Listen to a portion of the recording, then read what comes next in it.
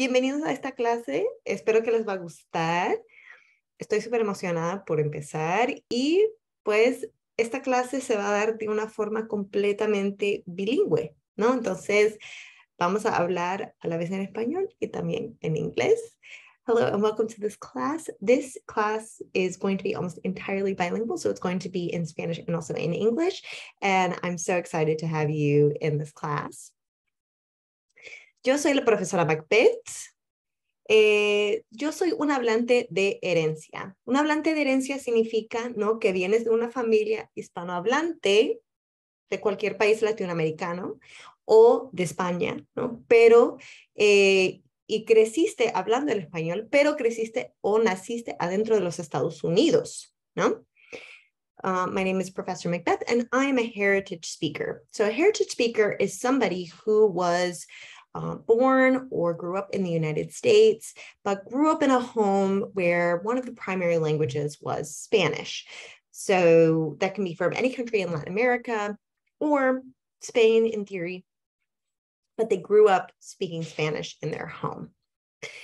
Hay diferentes dinámicas, ¿no? De hablantes de herencia y hay también muchos, muchos diferentes niveles, ¿no? De hablantes de herencia. Hay gente que puede entender español que no lo habla, o gente que tal vez lo habla poquito, o habla en parte, o habla spanglish, ¿no? O hay gente que son hablantes casi nativos, o gente como yo, que eh, trabajamos un poco para poder hablar español muy bien, ¿no? So there are all different levels and types of heritage speakers. Some heritage speakers can understand Spanish but not speak it.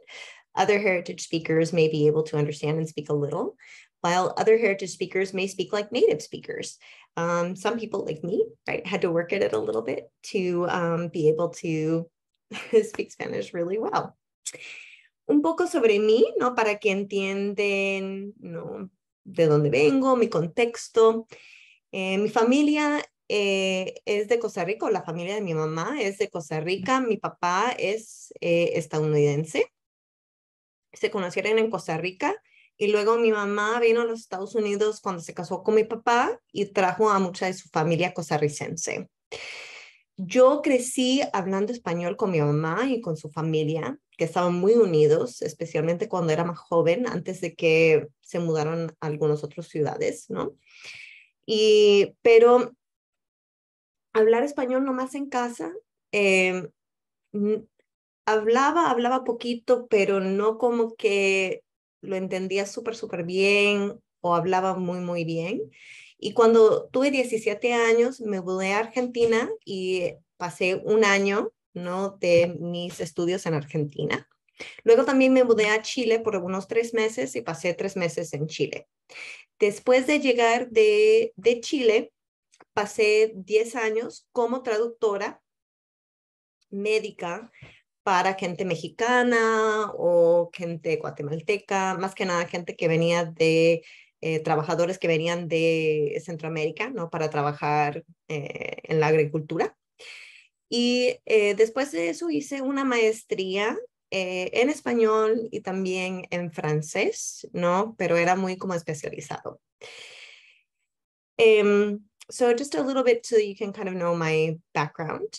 Um, so my family or my mother's family is Costa Rican. Uh, my parents met and married in Costa Rica, and um, my dad is from the United States. He's actually from Sebring, and um, he uh, met my mom. They moved back to the United States. They were a little bit everywhere, but eventually she moved and she brought over um, most of her family. Um, they ended up sponsoring most of her family to come over and live in the United States.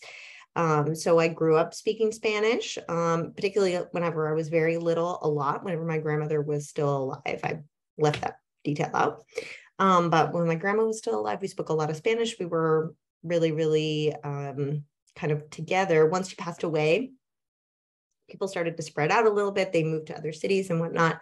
So I kind of spoke Spanish. Um, I understood a lot more than I spoke, but I didn't understand everything. And then I really wanted to learn Spanish very well. It had been something that, um, particularly because my grandmother, I'd been really attached to the idea that I would really learn to speak Spanish well. So when I was 17, I moved to Argentina to do some studies there, and I spent a year there.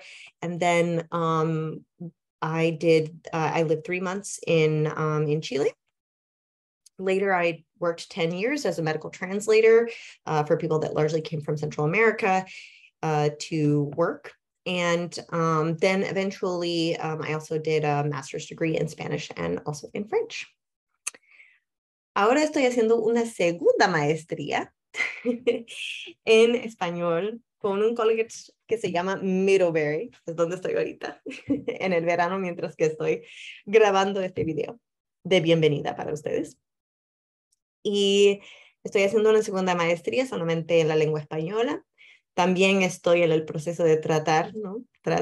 digo, tratando, no de hacer un doctorado en una universidad en Salamanca, eh, que está en España. Y pues eso, un poco sobre mí. Espero que les guste esta clase. Lo trabajé un, un, montón porque quiero que ustedes aprenden mucho de lo que es la abundancia y lo lindo, todo lo lindo, ¿no? De la cultura latinoamericana. Hay tantas cosas que nosotros no aprendemos de la cultura latinoamericana que a mí me parecen tan preciosos y tan, tan ricos, ¿no? De, de, conocimiento y de otras cosas. Entonces, yo espero que a ustedes les va a gustar esto, que, que van a estar muy entretenidos, que vamos a tener un buen tiempo. Em, y eso, este curso se va a hacer en parte de, eh, no, claro, este, la experiencia latinoamericana, ¿no? En los Estados Unidos, ¿no? Entonces, los latinos, las latinas, ¿no? Los latinex, eh, lo que querías decir, ¿no? Lo que, como lo quieres llamar. Además, vamos a hablar un poco, ¿no? De la, diferentes temas de la cultura, ¿no? Entonces, vamos a hablar también de las películas, del teatro, la poesía, un poco de la literatura, eh, me gustaría hacer más, pero ya con eso es mucho. Entonces, hay otro video que les voy a hacer que es como una course tour para que ustedes puedan saber cómo navegar, ¿no? El curso. Y entonces eso lo va a hacer dentro de un ratito y para que ustedes puedan ver muy, muy bien cómo se va, eh, cómo navegar, ¿no? La clase. Um, so uh, I really hope that y'all guys like this class. I'm so excited about it. Um, we're going to be covering a lot of wonderful topics that are a lot of topics that you would maybe know if you grew up in a Latin American culture. Um, that's not to say you would maybe always know, but there are lots of so many wonderful, rich, and diverse and exciting perspectives that we get from Latin American culture. And so I'm really hoping that we're going to just really dive in and get to know a lot of these different kind of perspectives. And um, as you can see, I've already forgotten what I said in Spanish, but uh, the main thing is, is that we're going to cover lots of different components, right? We are going to cover uh, the Latino or the Latina or the Latinx experience, however you want to call that, right? There's lots of different ways to call it. And we're also going to cover different components of Latin American culture. So we're going to talk about things like films, right? Theater, poetry, literature, and there's so much more. But there are things that you wouldn't maybe necessarily come across or that you maybe ne- didn't necessarily know about otherwise. And so we're going to talk about a lot of those different kinds of things. We're going to touch on a lot of different things. But of course, if you have an interest in something, you might be able to dive in and do a little bit more. So all right, I'm gonna make another video that's like a course tour video so you can kind of get to know the class. And um, I will do it with, um, I will do it with just the template class, but just so you can kind of see where the content is. I'm really looking forward to seeing you the first day. Espero verles el primer día, chicos, preparados, listos para aprender, ¿no? We're going to learn a little bit together. I hope you're so ready to learn. And um, I will see you in class. And I am very excited to be on this journey together. Bueno, chicos. Ciao.